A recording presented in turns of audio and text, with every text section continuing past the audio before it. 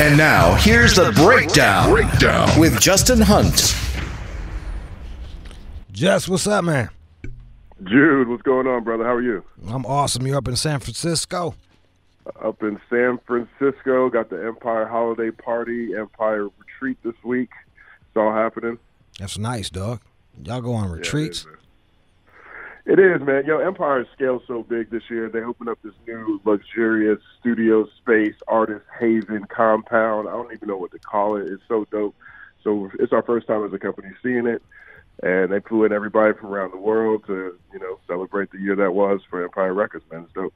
Well, congratulations. Uh, I know I know you was grinding over there, and it's a it's a trip well deserved. Yeah, definitely, man. Big shout out to Ghazi and Nima, man. I've been on a learn a learning spree this year, so I really appreciate them. All right, we're going to talk about the winners and the losers of 2018. Winners and losers 2018. The first winner I have for this year is Meek Mill. Meek Mill, man, a year ago, Meek Mill was arrested for parole violation. It looked like he was going to have to serve two to four years in state prison because he got caught uh, riding dirt bikes in New York City. Now, it's illegal to ride dirt bikes in New York City, but this was another parole violation. He ended up sitting down for five months.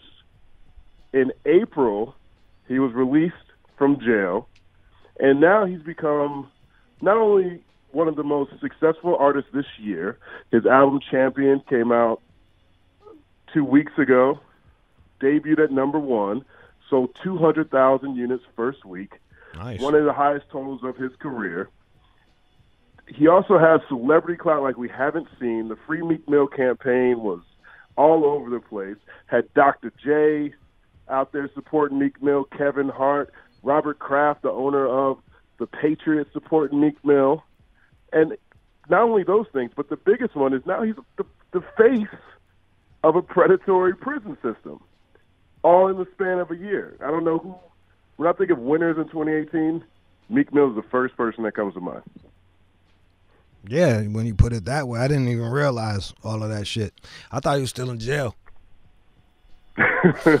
right. I mean, yo, I mean, this is one of the biggest. Shows you what I pay attention to. Jesus Christ. And he had that whole ass judge too. Didn't she want him to do like?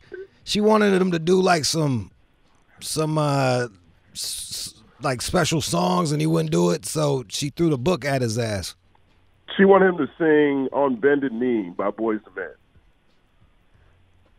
Judge Brinkley. Yeah. Yeah, that's Philly. It was it was an extreme situation. The thing I also think is unique about Meek is I also look at this. Part of me feels like he's the luckiest rapper in recent years, because to me this is also a big win for Jay Z. Jay Z has always had an affinity for for rappers from Philly. Yeah. Most of the guys he signed to Rock, Roc-A-Fella were the Philly guys. He put his festival in Philly. Last year, he wrote an editorial in Time magazine last June talking about how he is uh, he is going to war with the predatory bail industry. He put out the Kalief Browder documentary about the kid who was locked up in Rikers under no charges and end up committing suicide. Mm. So Meek Mill falls right at the core of all the things that Jay Z's about. Philly Right. rapper, uh, uh, caught up in a predatory prison system, and he signed to Roc Nation. So this is a real big win for Jay Z, in my opinion, as well, because the relaunch of uh, Meek Mill's career is, is is has been really special to see this year. And when that shit happened, uh, both you and I were like, man, you can't be fucking up like that on uh you, you can't put yourself in a situation where they're gonna fucking fuck you over. I'll be the first to admit that I'm critical of Meek Mill. I still am critical of Meek Mill. I definitely don't think that people should be going back to jail for small parole violations like riding a dirt bike in New York City. But I also think it's really easy not to ride a dirt bike someplace that's illegal. I don't really have sympathy for that. I feel like Yeah. some degrees, some of these violations were just, you know, feeling were unnecessary. Yeah. And I definitely have my questions about whether he's the best face for this movement. But He is the any face. He's the face, and and I'm happy for him, but I'm I'm not running away from any criticism that I've ever thrown at me because I still feel that way. Okay. I just think he had a, he was a big winner in 2018. All right, give me a loser. Kanye West. This is the first time Kanye West looks like he's on the other side of the bell curve. Now we've seen Kanye say all kinds of crazy stuff at various points in his career. We saw him grab microphones from Taylor Swift. We see a lot of these things. And one thing that always happened right after Kanye said something crazy was he dropped great music. He was always getting accolades after he kicked some word vomit. We didn't see that this year in the same way. So Kanye shows up with the MAGA hat. Kanye slips up and however you want to word it, says slavery is a choice or whatever. Then he drops five albums in a row. The Daytona album is critically acclaimed. That was Pusha T's. The Pusha T album. His album wasn't, yay. The album with uh, Kid Cudi, Kids See Ghosts, people love that album. Uh, the Nas album, nope, that wasn't. That was critically panned. And then the Teyana Taylor album had a crazy rollout. Later that summer, no, and none of those albums did particularly well in the charts outside of Ye, which I think had the biggest anticipation around it. I think Kids See Ghosts streams streaming better now. Later that summer, in August, Kanye's apologizing on Chicago radio. Says he's going to be a better Kanye for the future. He's going to be better for the city of Chicago. Three months or two months ago, he came out and said he's going to stop talking about politics altogether because he feels like he's being used by Candace Owens and some of the people that he was celebrating over the course of this year. I felt like the biggest thing he was doing this for was for Yeezy to sell sneakers. Like, you know, Michael Jordan said, pumpkins buy shoes too. I can get behind the logic. But here's the thing that's interesting. Yeezys look shakier than ever right now. They just did the re-release and they're still stock in stores. Now, granted, that makes sense to a degree because they put more out in the streets, Yeah. But they're not selling out like they used to. But they're also not as cool as they were. They kind of been replaced by Off White, which was Virgil Abloh, his uh, his friend and to a degree protege. But the Off White brand is now the hottest sneakers out. There's all kinds of articles, YouTube videos, people breaking down, analyzing whether Yeezy, the brand, is falling off. So from a music side, he hasn't performed the way we normally see him after he does something crazy. But the one thing he seems to only to care the most about, not looking as sharp as it was even six months ago. Kanye West. When I think of people who losers of 2018, Kanye West. I actually like that Kanye took a different. uh I like that Kanye, whether I agreed with him or not. I like that he fucking took a different stance that was popular in rap. Uh I never liked his shoes, um, and the trying to tackle five albums in five weeks is kind of kind of crazy. So yeah, I, I I get I get that, and I- and look, I didn't even check. I didn't check. The only one I checked for was the Pusha T, which I thoroughly enjoyed. So That was a great record all the way around. I don't think that you forgot you forgot the part where he fucking like was ODing, walking down the street ODing on fucking uh, Drake and everybody. Like that was another, Right. and I was like, "What are you doing, bro?" Like, like That was the other thing. I mean, you know, he. I think he kind of had to say something, but he's walking down Chicago, dropping these videos, getting mad at Drake for letting people think that he smacked bellies with Kim Kardashian, calling out Nick Cannon for talking about, you know, uh, Kanye's relationship with Kim. I mean, he looks insecure. well, I think he is insecure.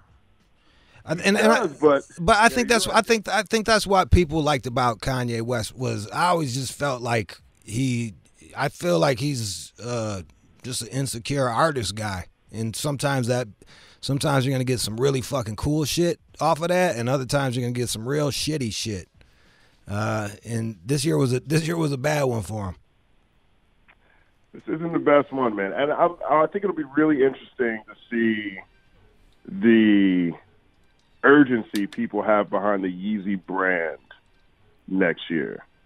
That's something I'm looking forward, looking towards 2019. How people respond to brand Yeezy. Well, that's a, because that, if especially I think I think um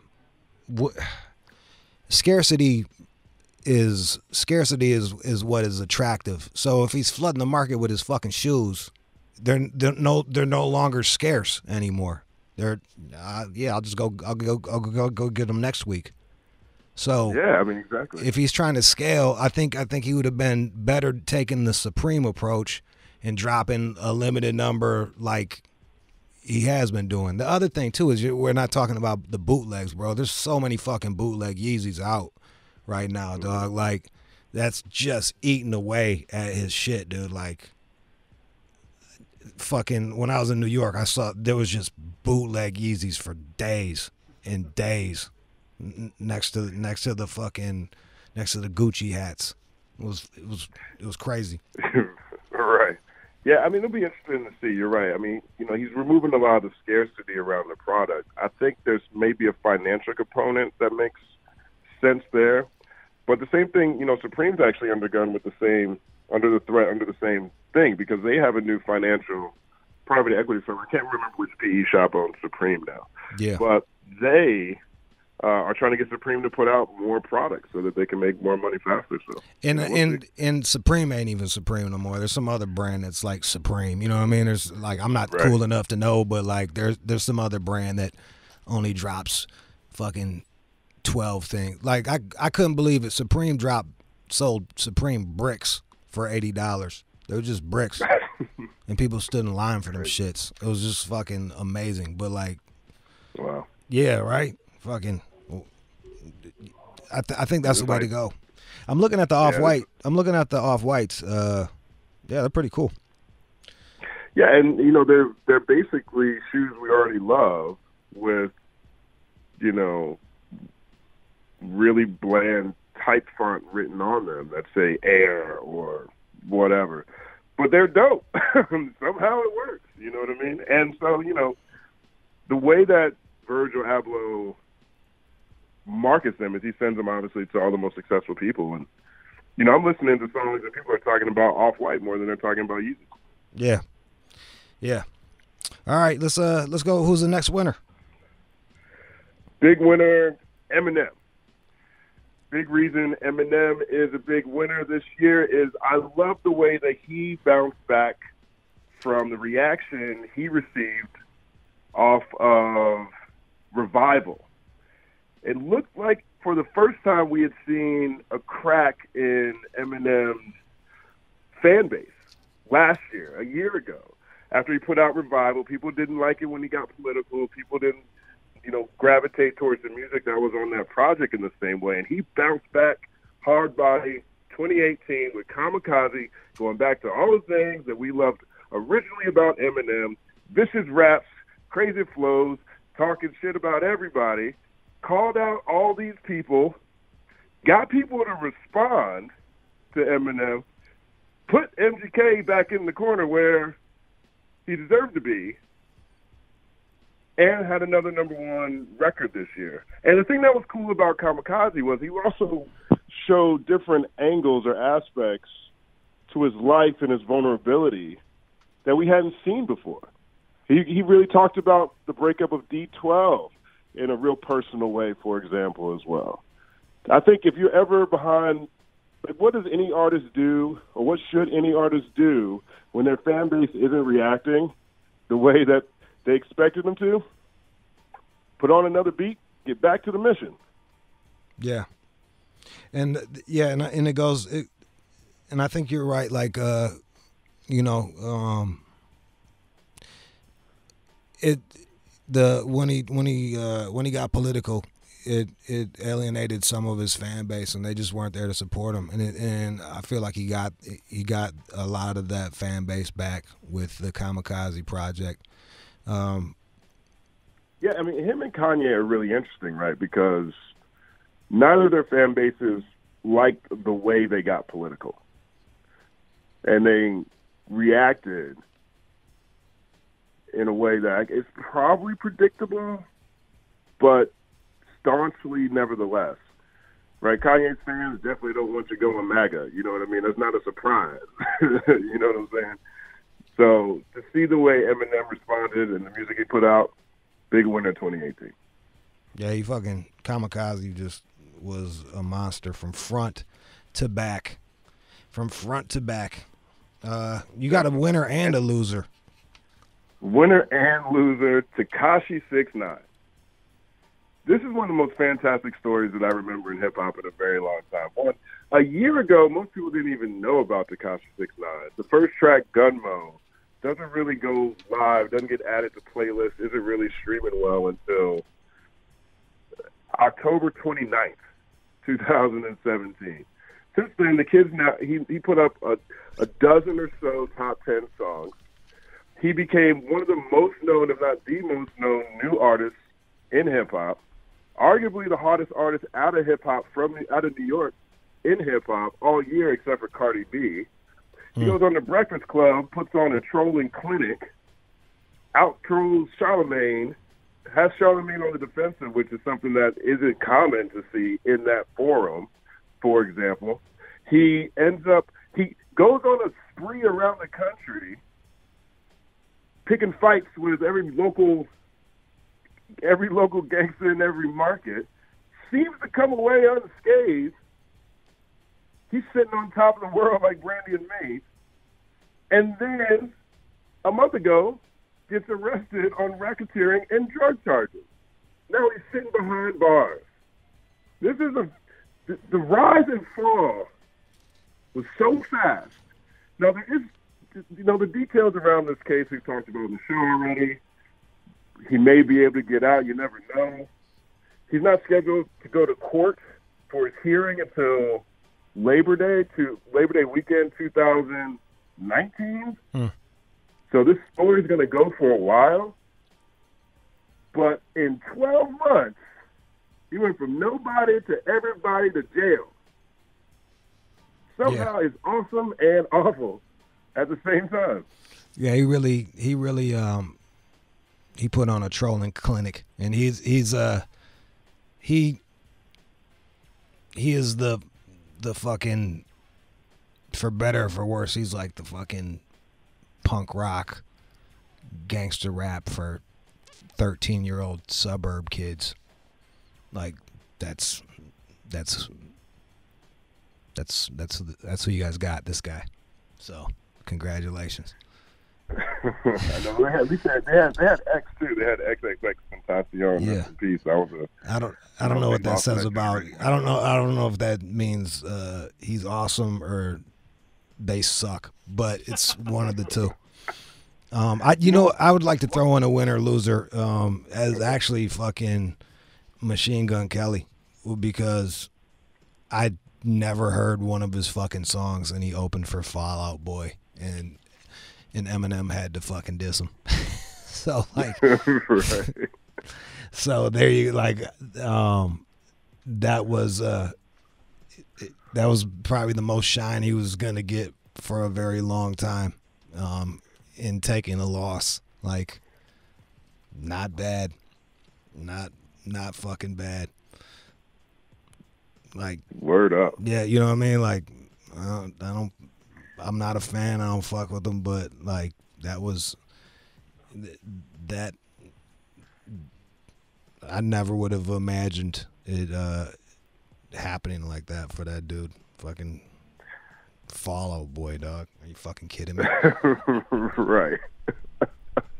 I, just, I love the video of, of uh, MGK in the restaurant, and the M fan comes up Starts talking to the MGK. MGK's like, dude, get out of here, man. Come on, man. Enough's enough.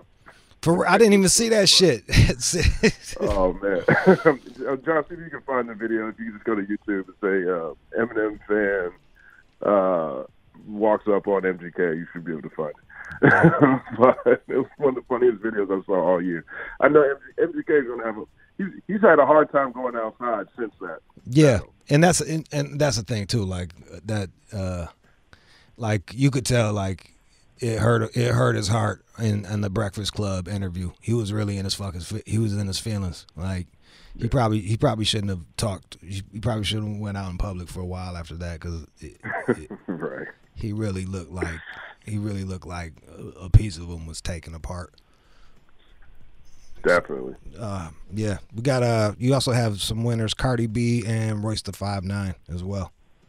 Royce is Royce, man. Royce is it's so interesting because there's this stigma, the stereotype out there that once artists go sober or once they, you know, they stop partying or they grow up or they change their lifestyle or they age, all of a sudden they're not dope anymore. Their skills deplete. They're not high. And Royce is the exact opposite. He's spitting more viciously now since he's been clean, and it's littered in his catalog and his storytelling, and his bars are still advanced in a way that still brings the listener in. Book of Ryan is one of the best albums this year. I just think Royce is in the zone right now, man. It's great to see. Yeah, layers and Book of uh, Book of Ryan, like just a great back to back um albums. Prime, you can't dropped. forget Prime, man. Oh, yeah, and Prime. pretty- But, but um, the, the the two things that really stuck out the early Royce could always spit, but he never really he he wouldn't get vulnerable and in layers and in in Book of Ryan like he got vulnerable and it to me I think it really paid off. hundred percent, man. Um, I also have Pusha T, Cardi B. I think you know Cardi B kind of goes without without saying much. I mean, she's ubiquitous this year. My favorite thing about Cardi B is how she's just been giving Nicki Minaj hell all year. She's been breaking records, women for women rappers. Nicki ain't done that. She's been uh, she's up for album of the year, rap album of the year. Nicki's never been up for those before. And when they actually got into a fight at the Met Gala or wherever that was, and Nicki was up there giving an excuse, she was saying, she was like, "Oh, well, I'm just over here. You know, you got dragged by my girl. I'll stand against the wall." And Cardi just snaps back quick, gets on the gram, is like, "What are you talking about?" Chun Li talking about you over here standing against the wall. Chun Li, the Street Fighter. Fuck out of here. You know, I mean, just her energy, her reaction time, the way she interacts with her fans, and her album's really good. It's like one of my three favorite albums this year. If there's one knock against Cardi, that she doesn't write a rap, but she admits that and she gives her ghostwriter props. So it's hard to take anything from her. She had a great year. There it is, Cardi B. Yo, you know I um I for the Pusha T and Drake shit, like people might say Pusha T won that uh won that exchange, but that fucking everybody and their mama was doing the Kiki challenge for months on on, on Instagram. It's like I fe- it it feels like the dude's bulletproof. Like it doesn't even matter. Like like it, it doesn't fucking even matter whether he wins or loses. Like Drake still. Do, do you know how many fucking ki- like? Do you know how many Kiki challenges I saw? It was it was fucking mind-boggling, dude. Like he's It's so. It's. Uh, I agree with you. I, my bad. I didn't mean to cut you no. that- Go ahead. What were you gonna say? Yeah, I mean, you know, two things real quick. One, I think that the thing that was dope about the Pusha T Drake battle is Pusha T found a, a way to say something different about Drake that we hadn't seen other people approach on a big level yet. And he painted him as a deadbeat dad in blackface, but also messed up his Adidas campaign. So he took money out the guy's pocket too, which I think is dope. But then Drake Drake is starting to look like the bank. You ever watch The Wire? You ever see that show The Wire? Yeah. Stringer Bell was really trying to get to the point where they could be the bank, where they get bigger than the drug money, they get bigger than the street level stuff, they get up there in city senator distribution levels. They could be the, just the bank, Yeah. where that they they're they're Teflon. You can't touch them. Drake's starting to look like the bank, man. I mean, it's even the way that his when he had to go back and rewrite portions of Scorpion after the you know Pusha T battle went down, the subliminals in there are heavily aimed at Kanye. So yeah, he might have taken the L to Pusha T, but he's now he's giving Kanye hell. Hmm. He's got fans out there putting bars together, coming up with the blueprint on how Drake potentially smack bellies with Kim K. He Got Kanye screaming that, "Yo, if you know my wife called herself Kiki, why you gonna make a song about it?" you know, like it's I don't understand. You know what, Kanye? Like, if I was Kanye, I wouldn't be that upset about, like, like if if my wife got famous for sucking Ray J's dick, like, like uh, I'd be like, oh, all right, great, she fucked another rapper. Who cares? you like, I don't, I wouldn't be, I wouldn't be in my feelings as much as he is about that shit. He really let it bother him. I, I think I feel the same way too, and I agree. Especially you got to know who your wife is, man. Yeah. You know, but on the flip side, that's got like it is. It's still your wife, and now you got other grown men in the streets talking about your wife, and you know them. Yeah. You know that's that's that's a little different to me. It is. Well, well, well said. Um, just thank you for calling in with the winners and losers. This is uh, this has been a great year with you, and uh, I think it's, I think you, you guys are just gonna crush all next year. I can't wait to see what you guys do. Likewise, man, Jude. Man, I can't. I have a, a very short list of advocates in the over the course of my career that have, you know, really stood by me, really stuck their necks out for me, and always kept it one thousand percent, man. And you're right there on top, man. I really appreciate you, man. It's been a great year, and I'm excited to see you back healthy and and everything. Got all the the, the, the health issues behind you, and I can't wait to see all the incredible stuff that you do in 2019. Thanks, bro. I appreciate you, man. All right, that's Justin Hunte, the company man on everything. Let's go. Mike check. Peace. Peace.